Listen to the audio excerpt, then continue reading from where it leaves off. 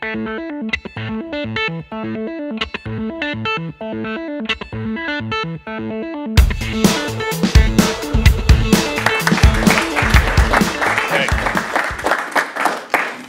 everybody. How you doing? Good? Morning. Yeah, yeah, yeah. I heard last night was a late night for some.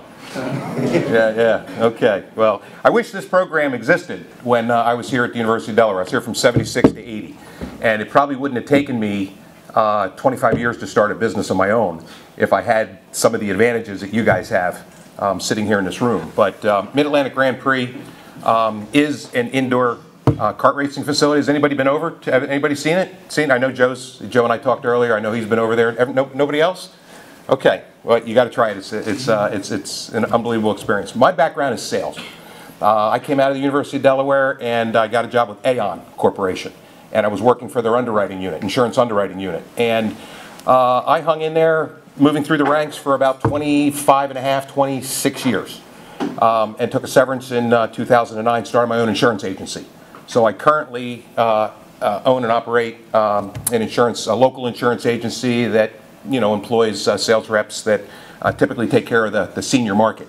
But Mid Atlantic Grand Prix, um, which was Delaware's first indoor kart racing uh, and entertainment facility, was opened in 05. We got the idea, my brother and I, to do something like this in 03.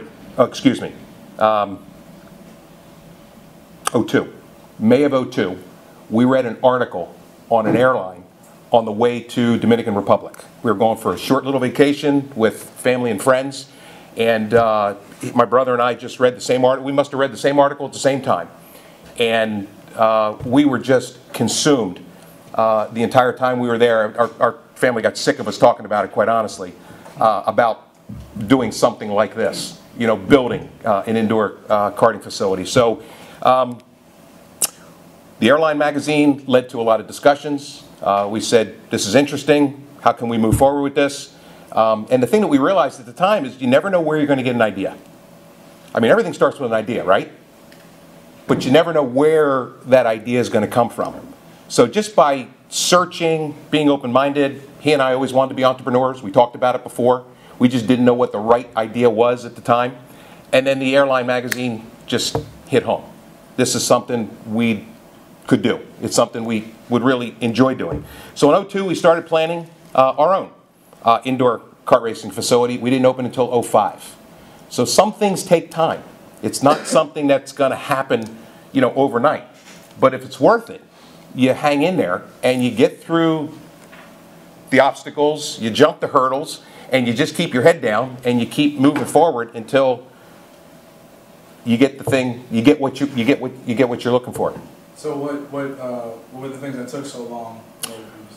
Well, um, a building, first of all, you know, it's, you've got to have a large enough building to be able to build something indoors. And that wasn't the original concept. The original concept was build outdoor tracks, but then it's weather permitting. It's not something you can do year round.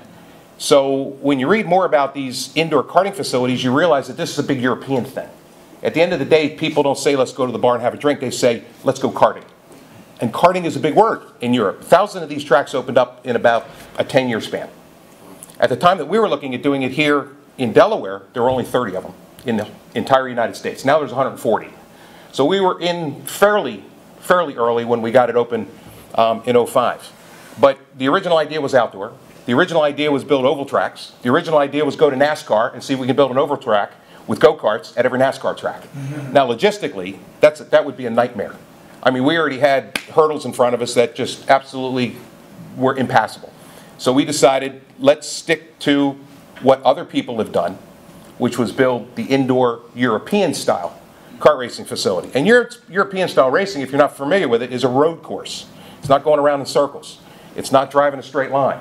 It's driving through nine turns over a quarter mile in a high-speed European, built for competition race kart. That's what this is. They're competition karts. They're built in Europe. And we took the European idea. We bought the equipment from Europe. We bought the karts from Europe. We bought the timing system from Europe. Everything else we pretty much bought from here in the States because there's distributors here in the States now that 10 years ago weren't here. All your distributors were overseas. Now you've got distributors, you know, here in the U.S. So it's easier to do. It was easier for us to do something like that. So once we really started saying, you know, let's, let's really look into this seriously, we started doing some research. And research is easy today. You got access to the internet. You really do. We could, we could literally research a thousand tracks in Europe, and we could research the 30 tracks that existed in the States. Now, logistically, could we get to all of those? No. But could we get to the ones that were local? Yeah. So we visited Maine, we visited Boston, we visited Connecticut, we visited Dulles, we visited Richmond. We went to where these tracks were to see if this was something that we really wanted to jump in, jump into both feet. So um, after we did that, we started really trying to develop the concept of our own. What did we want to build? Some of these tracks were big on entertainment, you know, um, food courts and uh, things beyond what we thought would build the racing experience. So our concept was really to try to build the kart racing experience. We figured that we could bring people back if we just gave people good value for their money and gave them an enjoyable, enjoyable experience. So, and we really thought that would be the first thing to do. And then it- we could always add food. We could always add games. We could always add other forms, you know, of entertainment after that. So once that was, once, once we were sold on the idea and that we wanted to pull the trigger and move forward, um, we did two things. One, we had to write a business plan. Wasn't the first thing on our mind. You know, it's, it's a, it's a long process, writing a business plan. It really is. But we weren't going to solicit business plans from the people that had already opened these tracks. We needed to, we needed to write our own with the information that we could grab from the internet and from the information that we could grab from the owners of these tracks. And the, the interesting thing was, everybody was willing to talk to us. They knew that we weren't going to open a track in their backyard. We told them right up front, we're thinking about doing this in Delaware. Well, the closest track was 120 miles. The closest competition was a bowling alley recreation, free time, disposable income. I mean, that's the kind of person that we needed to have. Families, you know, groups, birthday parties. So we competed with leagues, you know, things that other facilities did, but just not in this particular venue. So um, the business plan was necessary in our case. And with the help of SCORE, which are the retired executives, we met over at the chamber every couple weeks, and they'd give us little projects, and they'd work us through the projects. We'd complete them every two weeks. We'd show up, they'd evaluate the project, and they'd give us another two-week project. So that kept us on track. It kept the business plan moving ahead. Once we got the business plan, now we could attract financing, because we weren't going to put out all the money ourselves, and we could attract a landlord. We needed somebody who was going to provide us with space. And those guys won't talk to you, you know, without some solid, concrete information on paper. We also built a PowerPoint presentation, because when you get in front of a landlord, you know, they're going to want to know what's in it for them. How do you know you're going to be successful?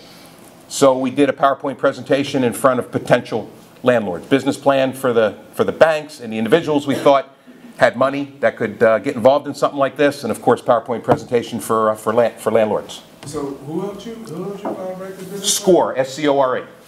Yeah, they're um, retired executives. Uh, They've owned businesses, they've operated businesses, they've sold businesses. And um, Did you get involved with, uh, with SCORE? how? Yeah. Through the chamber. Yeah, chamber was one of the first contacts we made in helping us market, in helping us market the business, in helping us promote the business. Because at this point in time, it's still an idea, it's still a concept. You know, we don't, we don't have financing, we don't have a landlord, a building. Um, You know, it's still an idea that you're promoting, and you have to continue to, continue to promote it if you believe in it. Dan? Yeah, just to, if you're interested in getting in touch, SCORE is great for retail Main Street kind of businesses, uh, or, or something like this.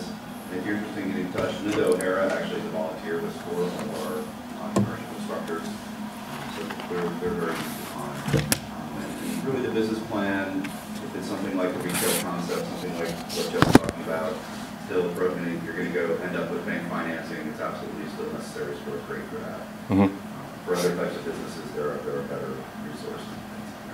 Yeah, well, I'm certain there is today. Yeah. So, you know, once we, uh, once we got a, a, a bank, Wilmington Trust at the time, to uh, say yes to the money that we thought we would need to start the track, um, and we found a landlord, we were back and forth between Blue Diamond, if you're familiar with that, it's a motocross park, and we were trying to convince them to build a building. You know, everybody that approached them gave them a new idea, and we couldn't get them to settle on any idea, so we kind of lost interest in them, and we went down uh, DuPont Highway a little bit for, further, closer to the 495 interchange. Behind Cohen Brothers Furniture, there's mini storage. And another article in the paper. We were, I, one Sunday, I read about a guy who owned these mini storage units who was considering building a commercial building. And maybe he was just looking to see if there was any interest out there and who would respond. I may have been the first call he got. I called him Monday morning. And his name was Jackson Firm, and he owned the mini storage units. And I said, look, I'm, this is the business I'm thinking about doing, and uh, I need 36,000 plus square feet, and I would need a build out, and I kind of got into detail of what we were looking to do. And he said, I'm interested. So we sat down after we sat down and, and uh, we were able to hash things out and, and, and create the right, uh, the right lease for us and the right cash flow for him. He pulled the trigger and built the building. 18 months later, we were able to move into the building and build the track that we wanted. You know, because we had to get tires and we had to build a road course and we had to uh, etch the floor and it was just a lot of stuff that had to happen when he was done. And the guy was nice enough to us that he gave us 60 days before he charged us our first monthly rent. I mean, gave him a security deposit for three months because there was some risk. And he built the risk into our lease. He also built the build out into our lease. You know, we had a couple hundred thousand dollars in build out between a, a gathering area, a sign up area, a, uh, a, briefing area, a suit up room, a conference room, a couple employee uh, offices, a sales office, a big spread on where people are when they start looking at doing something like this. The half a million is where you get everything rolled in and you just start paying rent. But they do it all. They roll it all in. They've got the finances to roll it all in. The mill and mill and a half, these are guys that are getting into a shell and there's a whole lot of upfront work that needs to be done and they've got to put that out before before they're going to get into the track and start paying rent.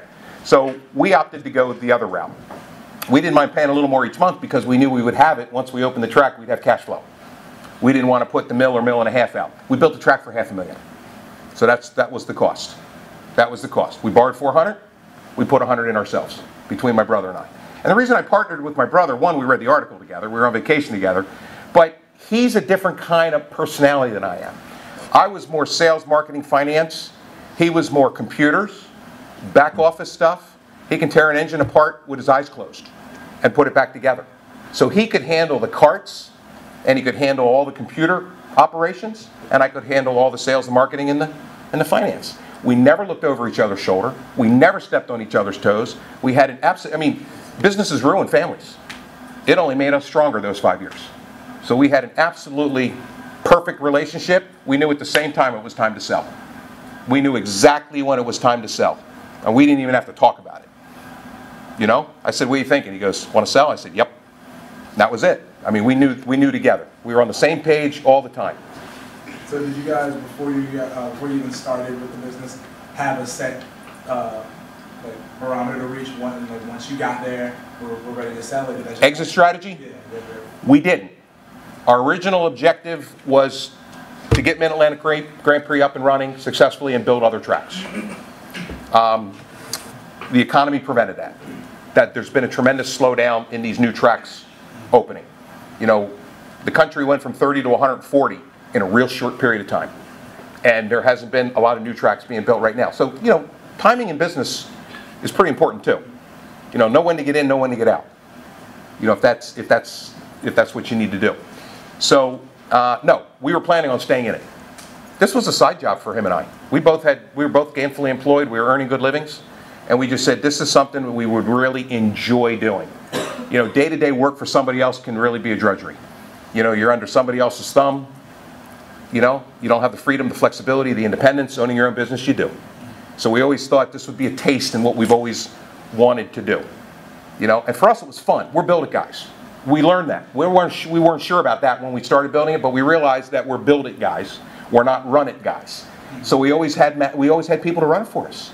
We always had good people that we hired that were able to run the business like like they were family.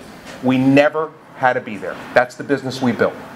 A business that we after we built it and got it up and running, we didn't have to be there. We continued to promote it. We continued to advertise. I spent 5000 in advertising every month from month 1 to month 60.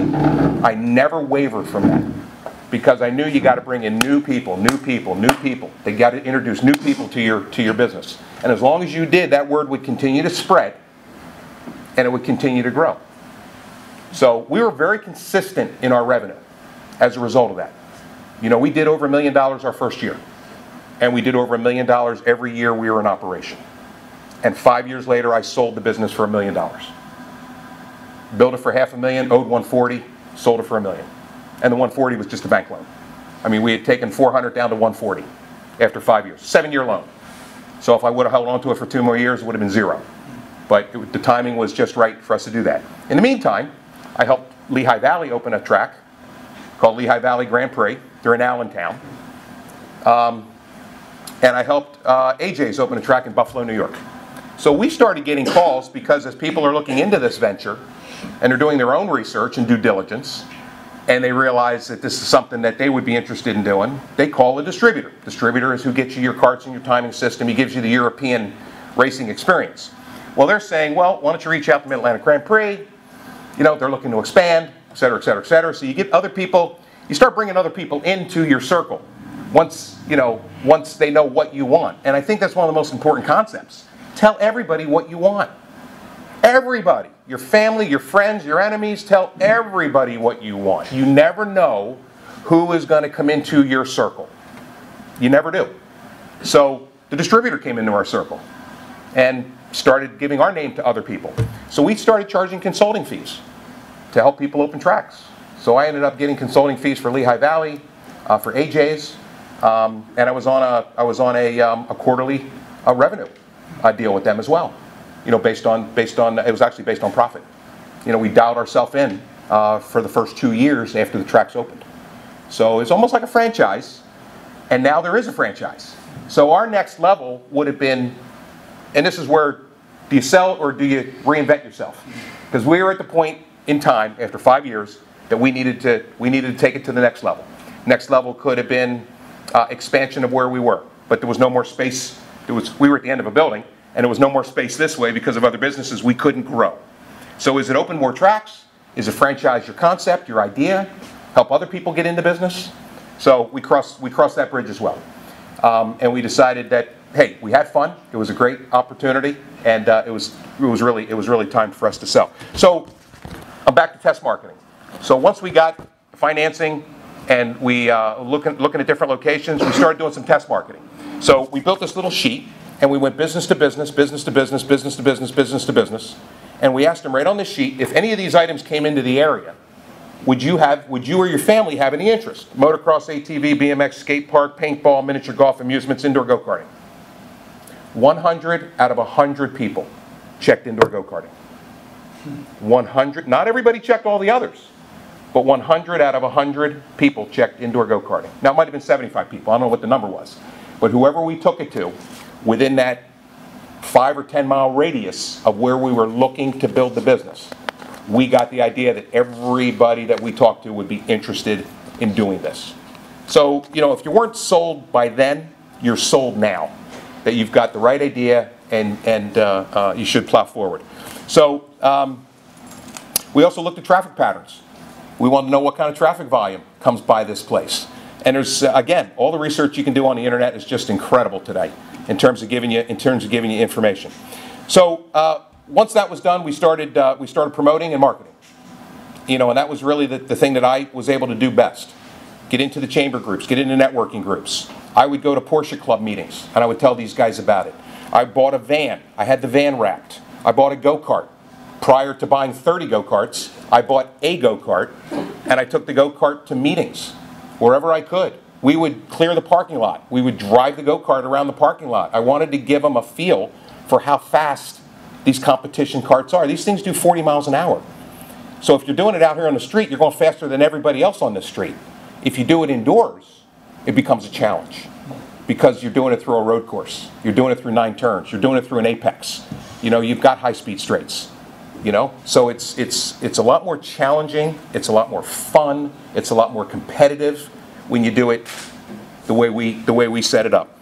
So we built a website. We referred people to it all the time. Check out our website. We created a band, a brand, excuse me. Uh, we created a buzz. Uh, we networked. We created an elevator speech. Everybody I talked to, I, I just right off the tip of my tongue, tell them what Mid-Atlantic, Mid-Atlantic Grand Prix is. You got to do that in about 10, 15 seconds. You know, so you, you just pique their curiosity and don't lose their interest. Uh, we joined the chamber. Uh, we built rack cards. things like this. We'd hand these to anybody that would take one from our hand, we'd hand, we'd hand them a rack card. You know? So, um, and I- I'll tell you what, I think one of the biggest things we did, and this is again, bringing people into your circle all the time.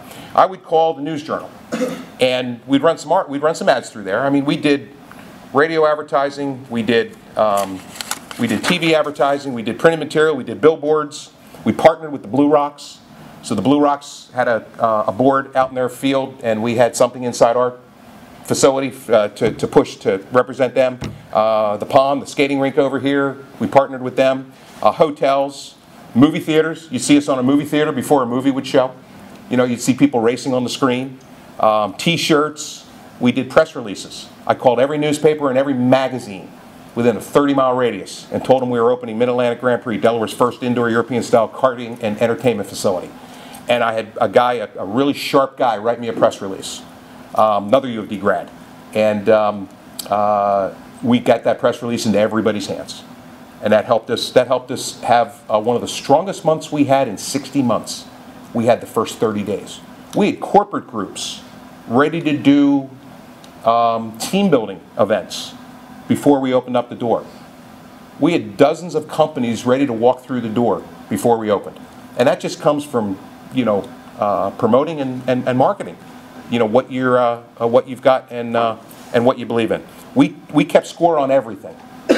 Anybody that signed in as a new member, they'd have to tell us, where did you hear about us? We wouldn't let them hand in the sheet unless they did. Now, a lot of it was friends, word of mouth. But we heard the word billboard. We put billboard on the sheet even though we weren't running billboards. We heard billboard on the sheet probably 25% of the time, and we were never on a billboard. Never on a billboard. What we realized it was, was the sign out front. It was just a little sign right in front of Cohen Brothers Furniture that said indoor kart racing. That was it. That was a billboard to them. But it was a sign. So you, you just, you never know what's gonna, what's gonna work for some people. So, um, as I mentioned, we built, uh, we built the track for half a million and, uh, and five years later, uh, sold it for a million dollars. When we sold it, we sold a member base of 50,000 members. We were signing up um, almost, uh, almost a thousand members a month, you know, for, uh, for most of the, most of the 60 months. Uh, we sold the equipment in good working order. We, uh, the staff was still there, solid people. All the vendors, we negotiated every contract, you know, between insurance or um, uh, distributor. E- Everything that we needed was negotiated. Coca-Cola, uh, they gave us the best deal over Pepsi, so we went with Coke. You know, it was a better deal. They gave us more bells and whistles. There was just more that they were willing to give up. They paid us cash to go with them. Cash. I mean, you never know what you're going to get from a vendor unless you ask. You just don't know. You got to push. You got to push the envelope and then let them back you down off of where you want to be. And if it's acceptable, you sign. If it's not, you don't. You say, listen, I'll think about it. I'm going to talk to Pepsi. See what they can do. You throw them against another vendor. So, so we, we gave them all the vendors that we were, uh, that we were working with, and uh, we gave them con- obviously consistent revenues and profits. So the, the business is now 10 years old. No, excuse me, uh, four, uh, nine years old. Business is now nine years old, and we sold it four years ago. I had a manager for four years. Great guy, had my back, great school friend. So anything I could do, he could do, and he would do it like, like I would do it, and he could do it without me even thinking about it. I could disappear for three months and never even think of the track, and I know that when I came back, it would be there and everything would be fine. I lost him after four years. He went back into the food business. You know, he's a food guy by heart. So, and, and here's the other thing. He never had an opportunity where he could get involved in any kind of profit sharing or profits of the business as an owner would. And I, I brought him in, giving him a portion of the profits every year. Um, and we're not a public held company or anything, but I still dialed him in on the profits. Well, his next job, he dialed himself in on the profits. It's the only reason he accepted the job. So he bettered himself from where he was by coming on board with me. So I thought that was great for him. But I lost him after, after four years, and I went through three managers in nine months. And I said, this is not what we want. We couldn't find a guy that could do everything that he could. Three people couldn't do what he did. So when you find the right person, you got to pay him, you got to help them any way you can to stay with you. You can't lose your best talent. Mm, and, you know, and we, we basically lost the guy that ran the business for us because, like I said, my brother and I weren't guys that were going to be there every day. So once that happened, we just looked at each other and said, "Yep, timing's right." Three months later, business sold. So move quick. You know, we- we sold a business in 90 days. So, any other questions? What was your most effective form of advertising to get new people into the, into the trade? Well, word of mouth for sure. Word of mouth for sure. Anything that we did that was visual, we tended to get a good response, like, how'd you hear about us? Um, we tended to get a good response. So when we were on Comcast, you know, we were on a bunch of Comcast channels. So you'd see us on a commercial. Uh, at the movie theater, you'd see something up on, up on the screen. On a billboard, you'd see a go-kart on the billboard. A van would be driving down the road, and it was a go-kart on the van. It was literally a wrapped van, and it looked like a guy sitting in a go-kart driving down the road. So anything visual, anything visual helped. The interesting thing was, we promoted a lot of corporate corporate clients early on. We knew the arrive and drive would happen. We knew it would happen through advertising. We knew it would happen through the articles. We knew that those things would pop for us, individuals coming in. Individuals coming in, having a good experience, come back and do birthday parties. Corporate groups who come in, come back and do leagues. So we had a bunch of corporate groups. We saw Gore once a month. Different departments from Gore would come in once a month. Now, not always big, 10, 12 people, and sometimes 20, 30 people. But they'd come in and do a meeting, and then they'd do a team building event. And we'd have trophies and prizes and all kinds of stuff, presentations, everything at the end. You know, we had a little awards thing, you know, first, second, third that we built out of wood, and we had all that stuff. So people like that would come in, and then we'd find that the ones that wanted to do it more often than having corporate pay for it would come back and do a league.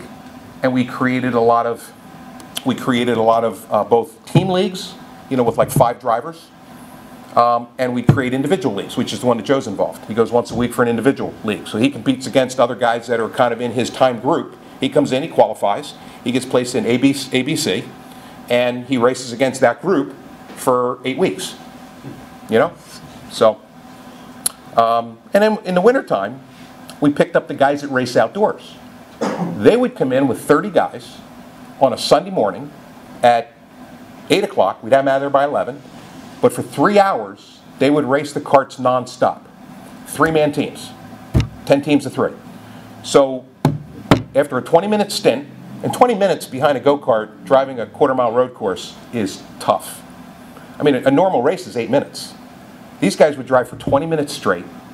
They'd come into a pit lane, they'd literally roll out of a cart, the other guy would jump in, and off he goes. The cart's still moving as one guy's rolling out and the other guy's jumping in. And this happens for three straight hours. Sometimes the first team to, and, and they're, they're literally driving as a team from here to Rehoboth in a go kart. That's how far. They, they drive 100 miles over that period of time in a go kart. I mean, three drivers, 20 minute stints, but still, you're driving 60 minutes apiece.